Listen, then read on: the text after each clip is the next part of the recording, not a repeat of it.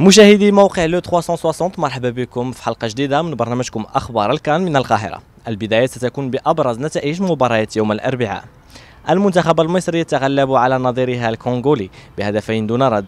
أوغندا تتعادل مع زيمبابوي بهدف لمثله ونيجيريا تفوز على غينيا بهدف نظيف.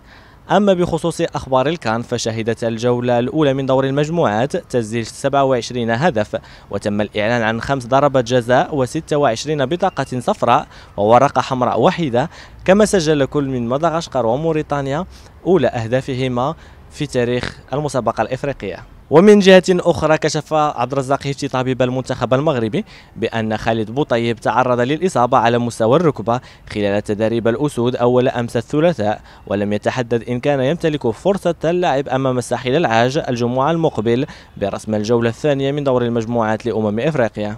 ويخوض كل من المنتخب المغربي والإيفواري اليوم آخر حصة تدريبية قبل المواجهة التي ستجمع بينهما غدا على أرضية ملعب السلام حيث ستكون حاسمة للمنتخبين بعد فوزهما في أولى مبارياتهما بالكان.